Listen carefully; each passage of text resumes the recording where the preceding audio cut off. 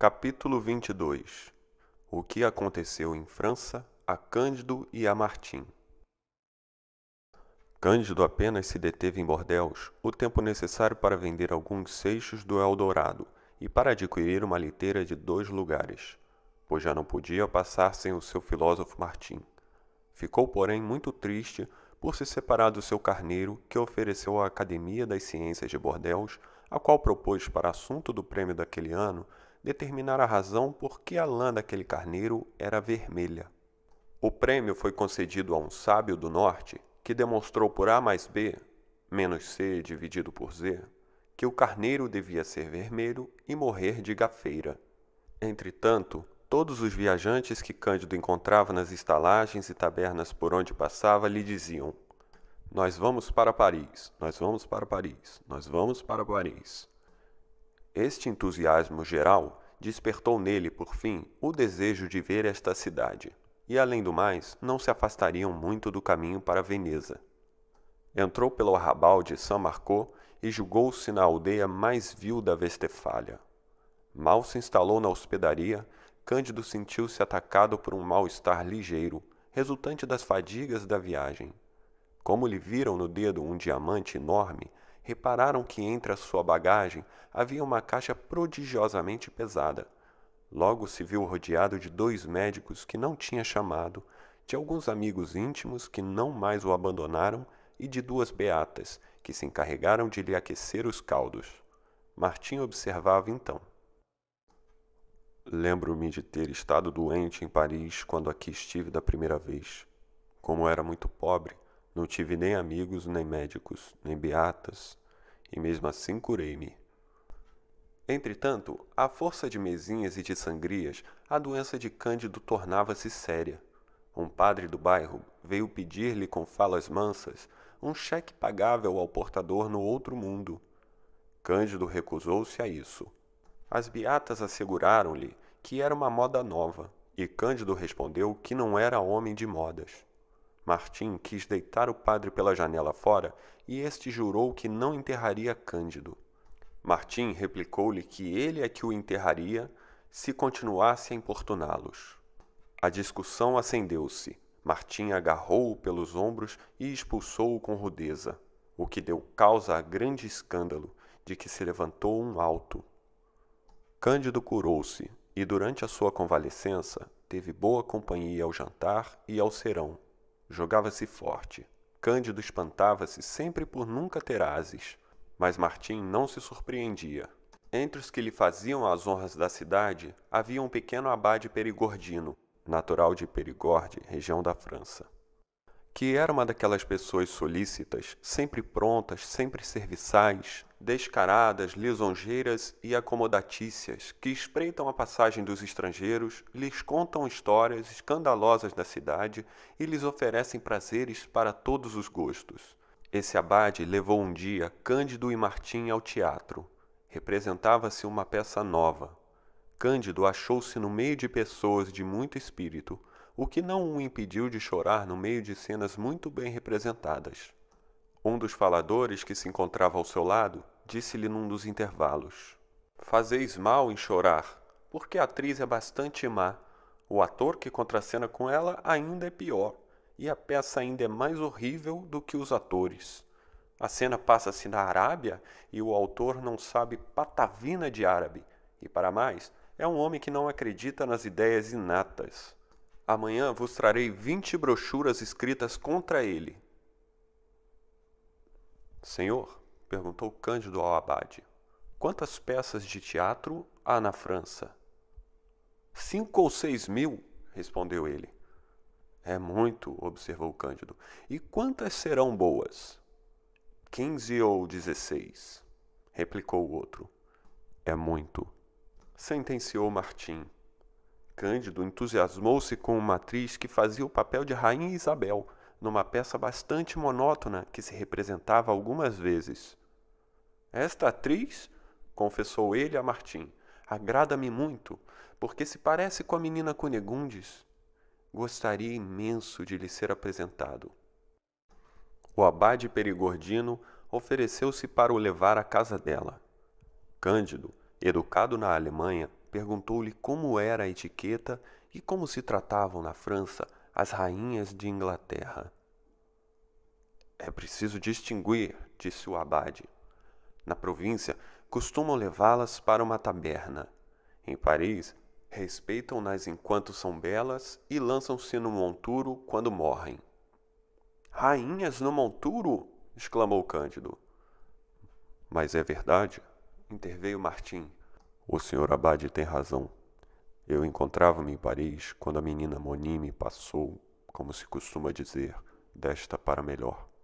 Recusaram-lhe o que as pessoas daqui chamam as honras da sepultura, isto é, a honra de apodrecer num horrível cemitério com os pobres do bairro. Foi enterrada a um canto da rua de Borgonha, o que lhe devia dar muitos cuidados, pois ela pensava com grande elevação. Isso foi muito descortês, disse Cândido. Que quereis? Estas pessoas são assim.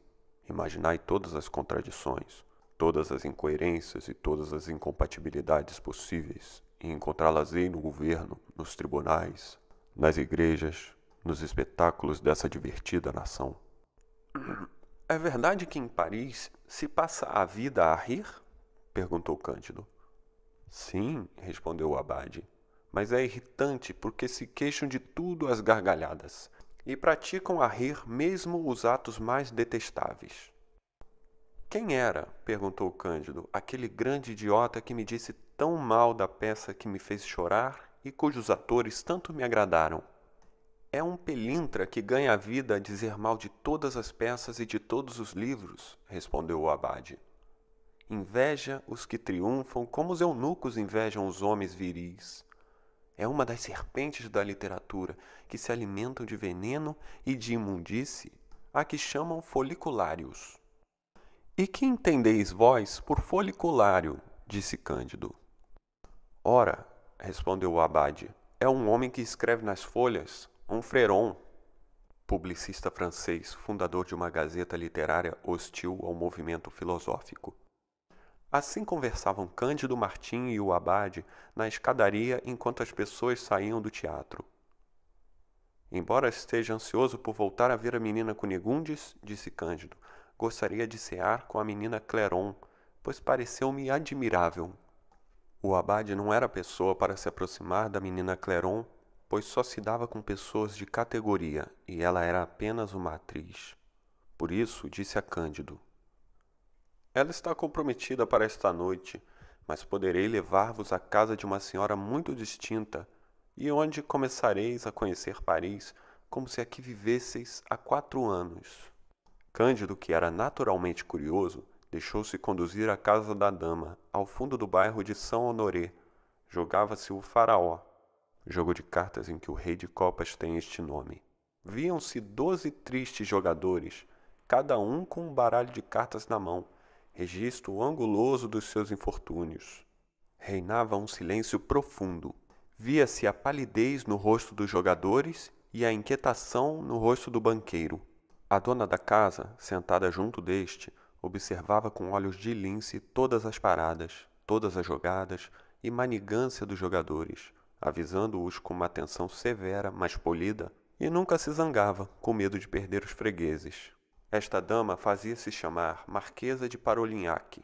Uma filha sua, de quinze anos de idade, sentava-se entre os jogadores e advertia-a com um rápido piscar dos olhos das trapacices desses infelizes ao tentarem remediar as crueldades da sorte. O abade Perigordino, Cândido e Martim entraram. Ninguém se levantou, nem os cumprimentou, nem sequer para eles olhou.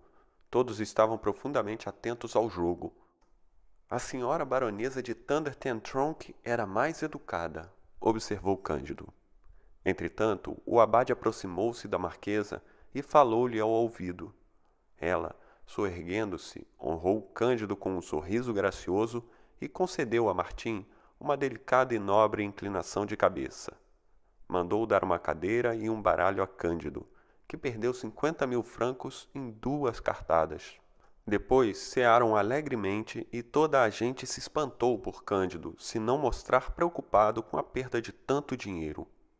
Os criados diziam uns para os outros, na sua linguagem de criados: Não pode deixar de ser um milord inglês. A ceia foi como a maioria das ceias de Paris. De início, o silêncio. Em breve, um barulho, tal que ninguém se entendia. Depois, gracejos, na sua maioria insípidos, boatos, mal-juízos, um pouco de política e muito de maledicência. Falou-se até de livros novos. Já lestes? perguntou o abade Perigordino. O romance do Sr. Gouchat, doutor em teologia? Sim, respondeu um dos convivas. Comecei a lê-lo, mas ainda não o acabei. Temos no nosso país muitos livros impertinentes, mas todos juntos não conseguem aproximar-se da impertinência de Gouchat, doutor em teologia. Estou tão farto desses detestáveis livros que nos ameaçam submergir que comecei a jogar o faraó. E das melange, do assediago T, que me dizes? perguntou o abade. Ah, disse o senhor de Parolignac, que homem tão maçador! É um livro que diz em segredo aquilo que toda a gente já sabe, que discute a fundo o que não merece sequer ser aflorado, que se apropria, sem espírito algum, do espírito dos outros, estragando-o. Como ele me aborrece! Mas não me aborrecerá mais pois chegaram para me aborrecer as poucas páginas que dele li. Encontrava-se à mesa um homem sabedor e de bom gosto que apoiou o que a marquesa dissera. Falou-se em seguida de teatro. A dama perguntou por que é que havia peças que se podiam suportar em cena, mas que não se conseguia ler. O homem de gosto explicou muito bem como uma peça poderia ter interesse e não possuir mérito algum.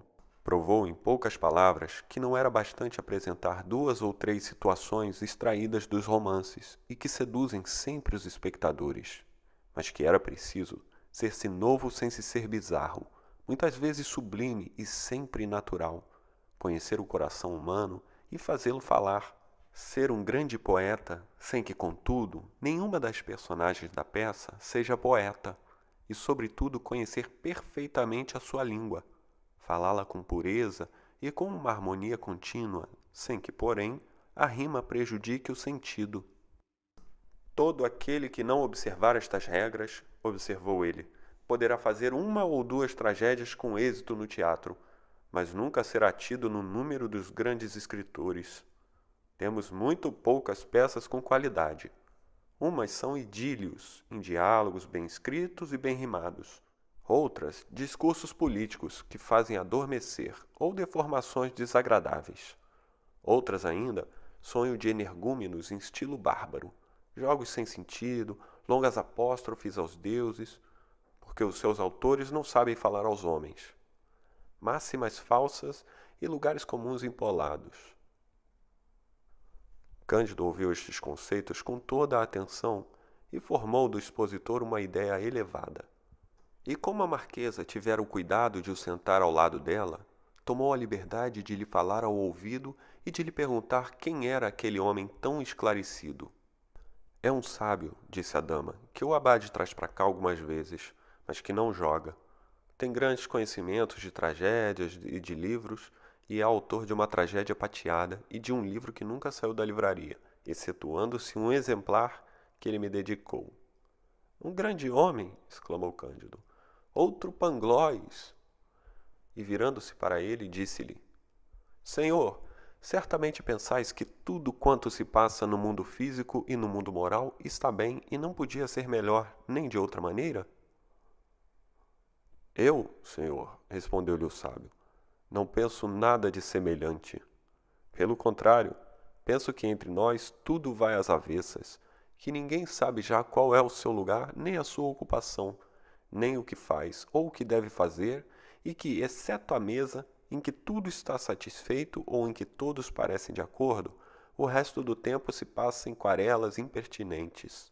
Jansenistas contra molinistas, membros do parlamento contra membros da igreja, homens de letras contra homens de letras, cortesãos contra cortesãos, financeiros contra o povo, mulheres contra maridos, famílias contra famílias, enfim, uma guerra eterna. Cândido retorquiu-lhe: Já vi pior, mas um sábio que teve a infelicidade de ter sido enforcado ensinou-me que tudo se passa às mil maravilhas. Tais acidentes são apenas sombras de um belo quadro. O vosso enforcado troçava do mundo, sem dúvida, pois tais sombras são manchas horríveis, disse Martim. São manchas que os homens fazem, disse Cândido, e que não podem deixar de fazer. Nesse caso, a culpa não é deles, retorquiu Martim. A maior parte dos jogadores que não percebiam patavina desta conversa bebiam, e enquanto Martim conversava com o sábio, Cândido contava suas aventuras à dona da casa. Depois da ceia, a marquesa conduziu Cândido ao seu escritório e fê-lo sentar num canapé. Ora bem, disse ela, continuais, pois, a amar perdidamente a menina Cunegundes de Thunder Tronk? Sim, marquesa, respondeu Cândido. A marquesa retorquiu-lhe com um sorriso terno. Respondeis-me como um vestefaliano que sois. Um francês ter-me-ia dito.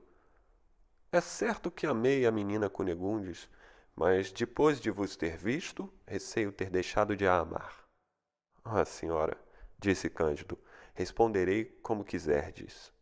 A vossa paixão por ela, disse a marquesa, começou quando lhe apanhaste o lenço. Quero que me apanheis a liga. Da melhor vontade, disse Cândido, apanhando do chão a liga que ela para lá atirara. Mas quero também que me torneis a pôr, prosseguiu a dama e Cândido assim o fez. Sois estrangeiro. Às vezes faço suspirar os meus amantes de Paris durante quinze dias, e se me entrego a vós, logo a primeira noite, é para fazer as honras do país a um jovem da Vestefália.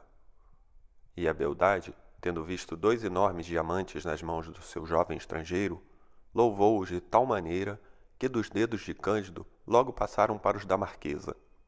Cândido, ao sair dali com seu abade perigordino, sentia alguns remorsos por ter sido infiel à menina Cunegundes. O abade associou-se ao seu pesar, pois tinha apenas uma ligeira percentagem nas cinquenta mil libras que Cândido perdera ao jogo e no valor dos dois diamantes, metade dados e metade roubados. A sua intenção era aproveitar quanto pudesse das vantagens que o conhecimento de Cândido lhe podia oferecer. Falou-lhe muito de Cunegundes, e Cândido disse-lhe que pediria perdão à sua amada da sua infidelidade quando a encontrasse em Veneza. O perigordino redobrava de atenções e de delicadezas e mostrava maior interesse em tudo o que Cândido dizia, em tudo o que ele fazia ou projetava fazer. Tendes então, perguntou ele, um encontro marcado em Veneza? Sim, senhor abade. É absolutamente necessário que eu encontre a menina Cunegundes, respondeu-lhe Cândido. Então, levado pelo prazer de falar daquela que amava, contou-lhe, segundo seu costume, uma parte das suas aventuras com esta ilustre vestefaliana. Creio, disse o abade, que a menina Cunegundes deve ter muito espírito e escrever-vos cartas encantadoras. Nunca as recebi, pois tenho sido expulso do castelo por amor dela não podia escrever-lhe para lá. Pouco depois, soube que ela tinha morrido. Em seguida, encontrei-a novamente e novamente a perdi. Enviei-lhe agora um mensageiro ao local onde permanece a duas mil e quinhentas léguas daqui e espero novidades dela. O abade escutava com a maior atenção e parecia um tanto ou quanto pensativo. Pouco depois despediu-se dos dois estrangeiros depois de os ter abraçado amistosamente. No dia seguinte, Cândido recebeu, quando acordou, uma carta concebida nos seguintes termos: Senhor meu amante, muito querido, há oito dias que me encontro doente nesta cidade. Soube que aqui vos encontrais. Se me pudesse mexer, voaria para vossos braços. Tomei conhecimento da vossa passagem em Bordéus, onde deixei o fiel Cacambo e a velha, que devem estar a chegar.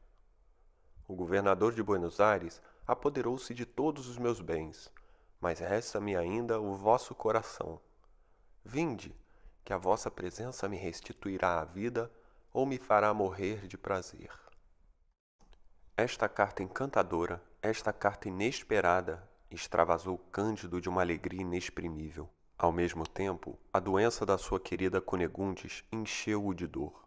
Repartido entre estes dois sentimentos, pegou no seu ouro e nos seus diamantes e fez-se conduzir, acompanhado de Martim, ao hotel em que se encontrava a menina Cunegundes. Entra trêmulo de emoção, o seu coração palpita, A voz soluça-lhe. Quer abrir os cortinados do leito, quer luz para ver melhor. Não faça isso, disse-lhe a criada. A luz pode matá-la. E feche imediatamente as cortinas. Minha querida Cunegundes, como estáis vós? dizia Cândido a chorar. Se não podeis ver-me, falai-me ao menos. Ela não pode falar, observou-lhe a criada. A dama solta então do leito uma mão gorducha que Cândido banha com as suas lágrimas e que em seguida enche de diamantes, deixando um saco cheio de ouro na poltrona. No meio dos seus transportes chega um chefe da polícia, acompanhado pelo abade Perigordino e por alguns guardas. Ora então, disse ele, são estes os dois estrangeiros suspeitos? E ordena imediatamente aos guardas que os prendam e os conduzam à cadeia. Não é assim que tratam os viajantes no Eldorado, disse Cândido. Estou cada vez mais maniqueu, disse Martim. Mas, senhor, para onde nos levais? perguntou Cândido. Para o fundo de uma enxovia, responde o chefe da polícia. Martim, recobrando a serenidade, viu que a dama que se fazia passar por Cunegundes era uma embusteira, o senhor Abade Perigordino um patife que abusara ao máximo da ingenuidade de Cândido, e o chefe da polícia, outro intrujão, de quem por isso se poderiam facilmente desembaraçar. Esclarecido pelos seus conselhos e para evitar expor-se aos trâmites da justiça, e além disso, sempre impaciente por tornar a ver a verdadeira Cunegundes, Cândido propôs ao funcionário a dádiva de três pequenos diamantes do valor de cerca de três mil pistolas cada um. Ah, senhor, disse-lhe o homem do bastão de marfim, mesmo que tivesseis cometido todos os crimes possíveis e imagináveis, serieis para mim o homem mais honesto do mundo. Três diamantes, cada um de três mil pistolas. Preferia deixar matar-me por vós, senhor, do que meter-vos numa prisão. Agora prendem-se todos os estrangeiros, mas deixai o caso por minha conta. Tenho um irmão em Diepa, na Normandia. Vou levar-vos para lá, e se tiverdes algum diamante para ele, cuidará de vós como se de mim se tratasse. E por que é que prendem todos os estrangeiros? perguntou Cândido. O abade Perigordino tomou então a palavra e disse: é porque um mendigo da região de Atribácia ouviu dizer parvoices que o levaram a cometer um parricídio, não exatamente como de maio de 1610, mas como de dezembro de 1594, e como muitos outros cometidos noutros anos e meses por outros mendigos que tinham ouvido dizer tolices. O chefe da polícia explicou então do que se tratava. Ah, os monstros! exclamou Cândido que tais horrores num povo que dança e canta. Não poderei sair o mais depressa possível deste país em que os macacos assustam os tigres? Vi ursos no meu país, mas homens só no Eldorado. Pelo amor de Deus, senhor chefe, levai-me a Veneza, onde devo encontrar-me com a menina Cunegundes. Só vos posso levar para a Baixa Normandia, respondeu-lhe o polícia. Mandou-lhe tirar imediatamente as algemas, dizendo aos seus guardas que se tinha enganado, e levou Cândido e Martim a Diepa, deixando-os entregues ao irmão. Estava no porto um pequeno navio holandês. O normando, que com a ajuda de três outros diamantes se tornaram mais serviçal dos homens, embarcou Cândido e os companheiros no barco que se ia fazer a vela para Portsmouth, na Inglaterra. Não era o caminho para Veneza, mas Cândido o que queria era livrar-se daquele inferno. E além disso, contava retomar a rota de Veneza na primeira oportunidade.